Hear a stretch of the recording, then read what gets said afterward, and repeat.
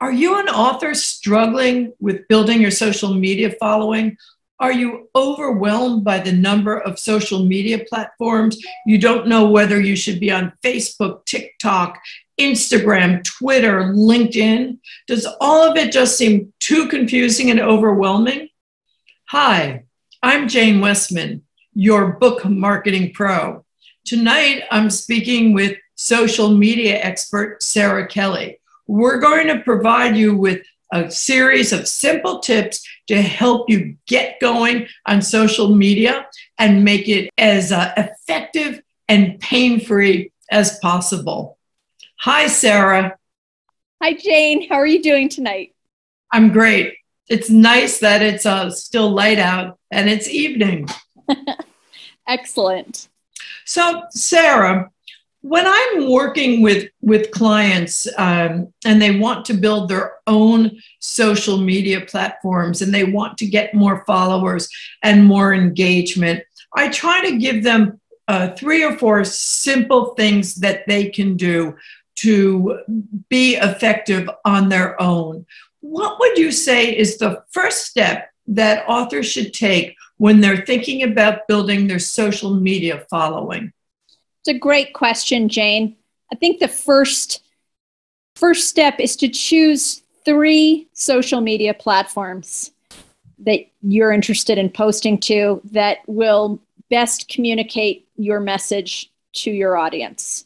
Um, as you know, most of our clients uh, have written business books or books about leadership or organizational culture, or, or uh, some write about personal growth. So why don't we just why don't we focus in on platforms that would be best for authors who, who are writing about business or personal growth? What platforms do you recommend? For business books, I recommend LinkedIn for obvious reasons, Twitter, which is where most of popular media goes to exchange information that the the influencers, the movers and shakers behind popular media, they're all on Twitter. You need to be on Twitter. You often tell me that that memes work really well. Can you just uh, explain what a meme is and why does it work so well? What do you what do you like about memes? And do you put memes on all social media? A meme, which can be as simple as a colorful uh, illustration with a, a, simple quote on it, uh, posting that you can get super creative beyond that, but it can be even just be a, a colorful uh, picture, a picture with a quote on it. It's easy to digest.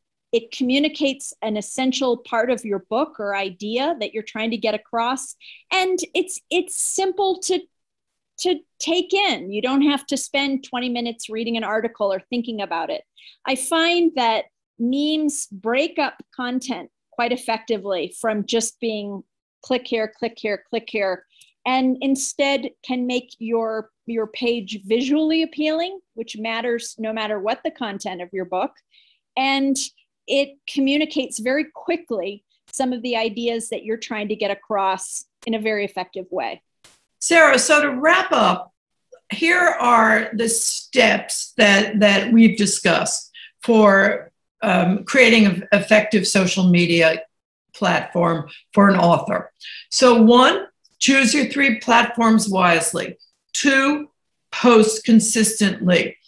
Three, I recommend uh, putting together two weeks worth of posts at a time, which include a, a direct promotion for the book, a, a link to an article or an interview, something else in which the author talks about the book, integrate it with a meme, which would be something as simple as surround yourself with positive people. I think also if you can add a little bit of video, I've seen that when authors make very short videos, 30 second or 60 second videos, and they post their videos, that works. Another terrific place to go to is Canva, which is um, an online um, service, and it's basically free to the to the general user, and you can create all kinds of posts, including videos and animated posts there.